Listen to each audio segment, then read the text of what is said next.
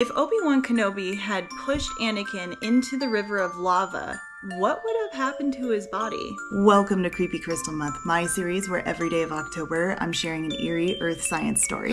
According to volcanology resources, Hollywood kinda got it right and kinda gets it wrong. Hollywood got it right that Anakin's clothing would have started burning, but unlike most Hollywood depictions, Anakin wouldn't have fallen or sunk into the lava, he would have actually floated on top. Lava is three times denser than water and incredibly viscous. So instead of disappearing into the lava, he would have just stayed on top. But that doesn't necessarily make it better. Obviously, lava is hot, but lava can reach temperatures of almost 2000 degrees Fahrenheit, depending on the composition and the color of it. And obviously, that would cause catastrophic burns, but the water in your body would literally turn to steam, so you would steam to death.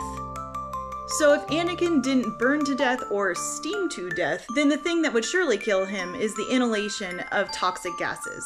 Which may be a good thing because it could knock him out and put him out of his misery. But let's be real, the creepiest part about all of this isn't the lava, it's how much Anakin was hitting on Padme even when he was a minor and she obviously didn't want his advances. Stop it.